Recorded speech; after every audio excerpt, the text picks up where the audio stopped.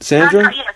Okay, San- Sandra Solomon, who was uh, uh, one of the inciting incidences outside the uh, AIPAC, uh, who who uh, were involved in uh, what became a conflagration. Sandra, what was the provocation that, of the first the first sign of uh, physical violence? Okay, um, yes, I was uh, standing uh, on the sidewalk uh, chanting, uh, like everyone was chanting there. I was chanting, Israel will always be. Yeah. And uh, from the river to the sea, Israel will always be. From the river to the sea, Palestine uh, never be, and all that uh, chanting. And then the guy, uh, all of a sudden, the guy, uh, he came very, very close to my face, and he's pointing to his uh, himself, to his face as well, with his finger, and he's saying, uh, "This is Palestine.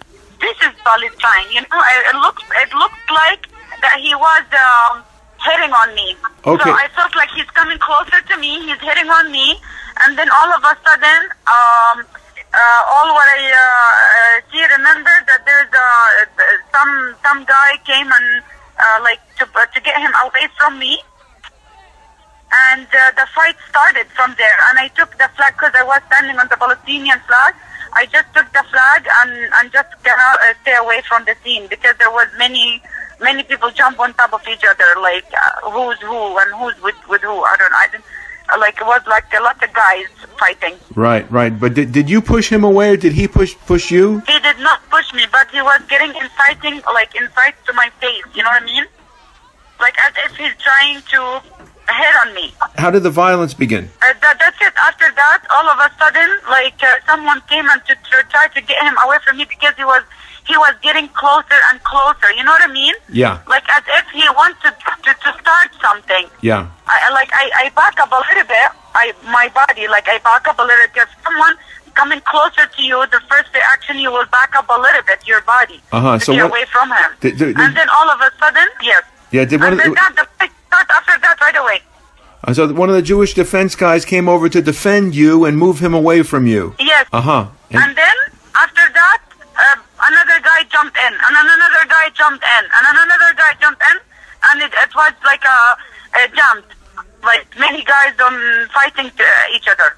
Uh huh. Oh, you mean? And uh, then at that moment, when the guy jumped to get him away from me, at that moment, I, I just uh, grab the flags and whatever, and I walk away. okay. So at, at this point, Yeah, to get myself away from the uh, anyone can hit me. Right, right. Uh, and were they jumping in from from opposite sides, both from the JDL and from the uh, anti-Zionists? From the left and the right, Uh huh. but mainly from the left. The guy, the GDL guy, came from the left side. I okay.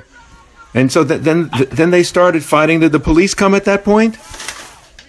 Then the yes, then the police start. Uh, then the police came and start to push everyone away. Everyone was pushed away. It doesn't matter. Uh huh. Do you believe that the police should have been standing uh, in between you to protect you from them? That you wouldn't have needed to have your, your colleagues come and save you? Of course, if the police was there closer, because the police was covering their side more than our side. Like the side that where we're standing, the police totally like cannot ignore us. But when I was standing at that time, at that moment, there was no police. Uh, why do The you? police was not there at that side. So you, you were outnumbered about uh, 30 to 1, 40 to 1. How come the police were facing you? They weren't facing the crowd to, to, to try to uh, uh, keep, keep the crowd controlled. Yeah, the police was mainly, uh, you know, uh, uh, um, uh, standing uh, behind the, uh, the the other guys, the, the Palestinians and Yeah. the other people. Yeah, yeah. So do you feel that us. you feel that the police were intentionally not protecting you? Well, that's uh, I think so. Like I don't, I cannot really, uh, you know, assume like at a hundred percent. Uh-huh. But what I am what I saw at that time, and not just me, all of us, all the GDL team, Mm-hmm. we were like kind of lift like this up into the air, like we were not really protected very much. Uh huh. And not just me, all of us. uh huh. And, and uh, was like it? they were just yeah standing, like making sure the lineup, the police lining up, and and uh, at the door, you know, where the kids or whatever standing and they're chanting, and uh, but us we were left in the middle with no protection. Anyone can come and harm us any any minute. But and then we end up going at the top of the balcony, at the other stand of the stairs.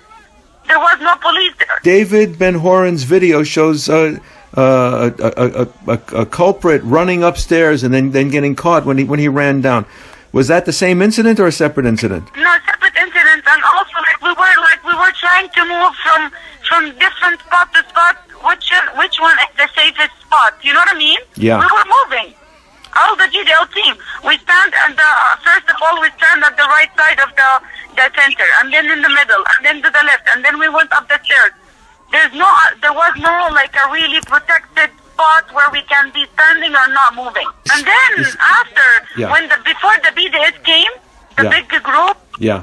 before they, they came, then the police start to, you know, uh, uh, making a real serious uh, action towards lining up and, and, and, and making the way for them to come. And us, we were pushed back, pushed back, as if, you know, we're like, uh, we are the one who's, who's here for trouble.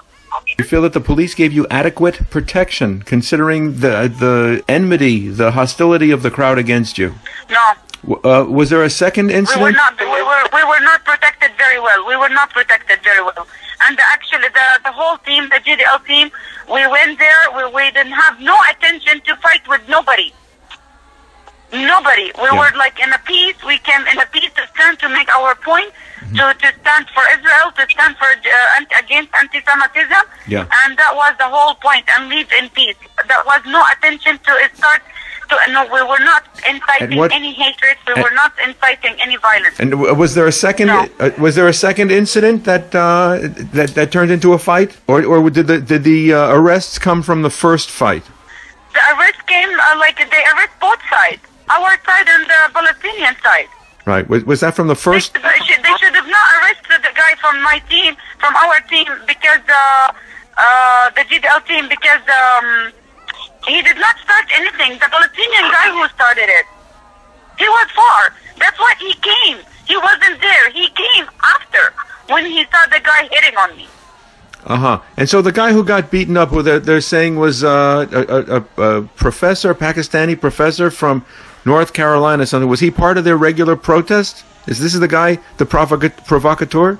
Yeah, he came to me like uh, I don't know which organization he's from. I never saw him before in my life. Uh huh. He came all of a sudden to me and he's like, "This is Palestine. This is Palestine," in a gangy way. You know what I mean? Yeah. Like in a threatening, like a, in a gang. Like he he was talking like a, like, like a gangy way. You know what I mean? Like a gang. Like this is Palestine. This Yeah. is Palestine. He Yeah. keep repeating. Okay. All right. You have And then the guy came to him. you you have Meir Weinstein with you. You're you're we're speaking to you from Canada, Meir. Uh, w- when when the uh, the, the JDL um, left, were, were you dispersed by the police? Did you leave because they forced you to leave? No, not at all. We were there for approximately four hours. Uh huh. Uh, we made our point. We, uh, according to the information we had, the uh, the pro-Islamic uh, contingent of the anti-Israel protests was to arrive at one o'clock. They arrived at two thirty. Uh, so we stayed uh, at that point, but it seems that we made our points already. so we're there, like I said, for four hours, and then we uh, called it a day.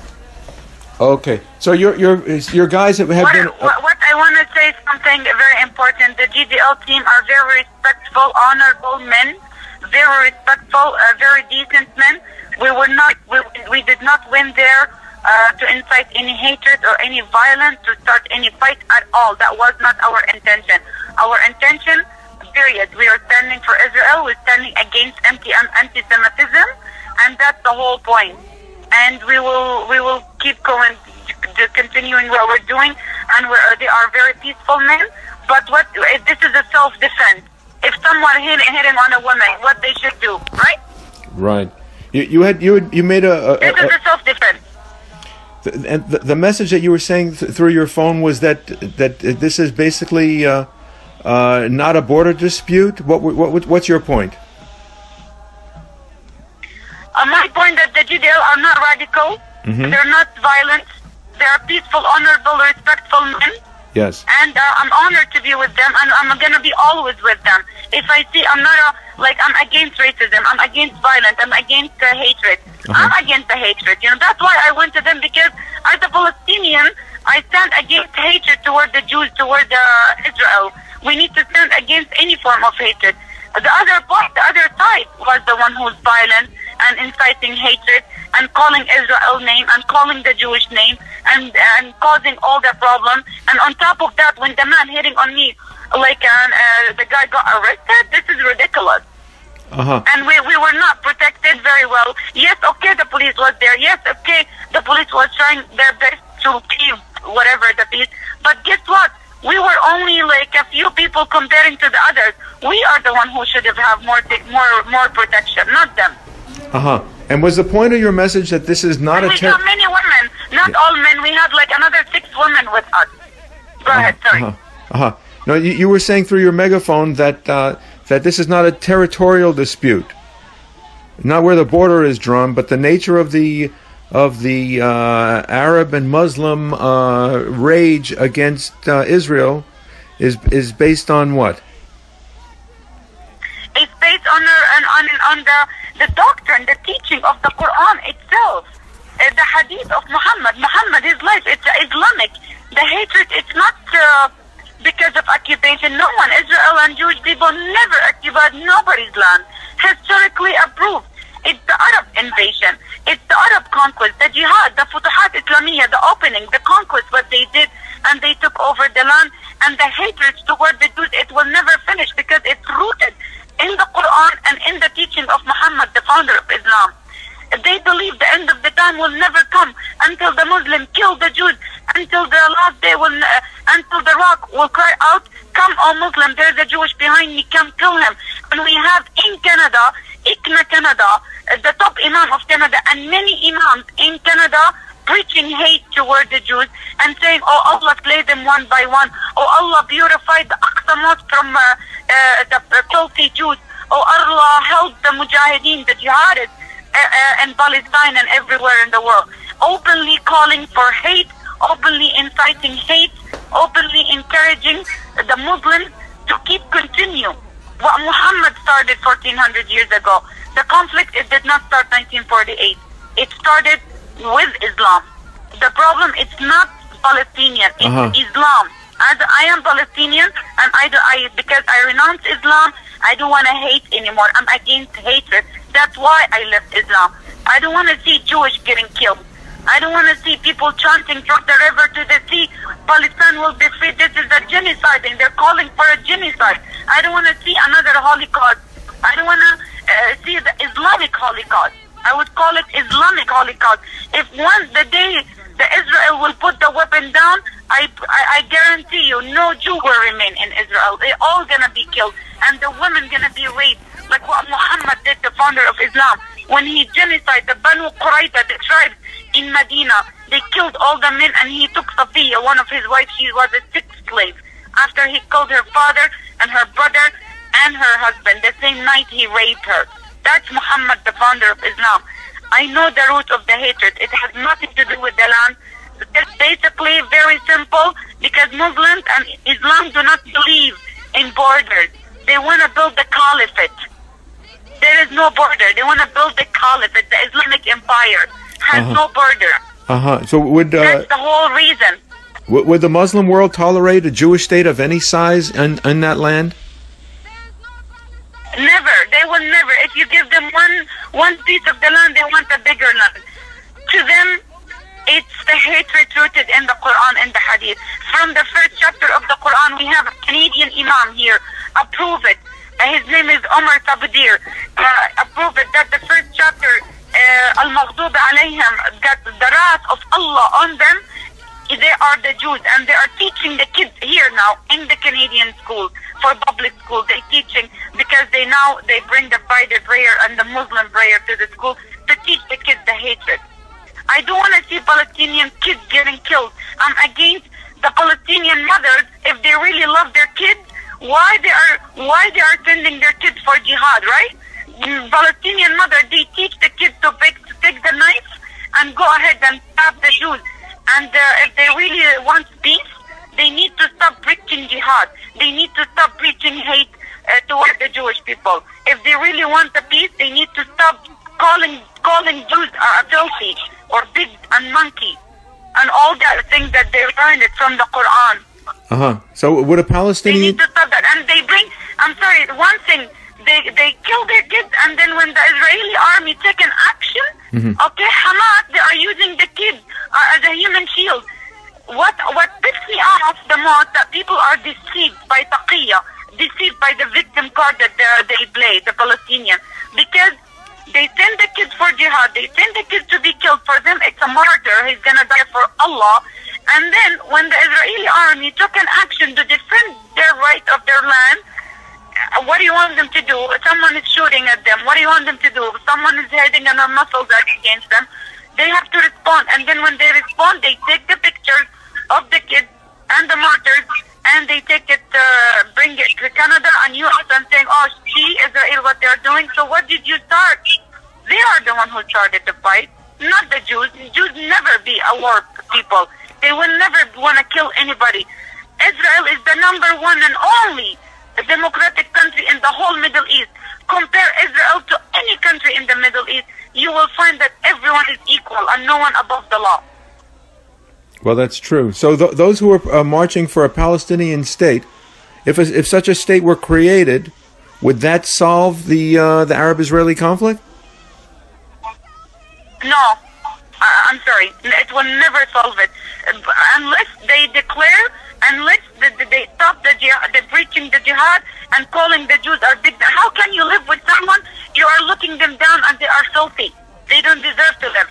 Filthy. How? They, they consider them How filthy. can we? How can they gonna live with them, believing that the end of the time will never come until they kill them? How?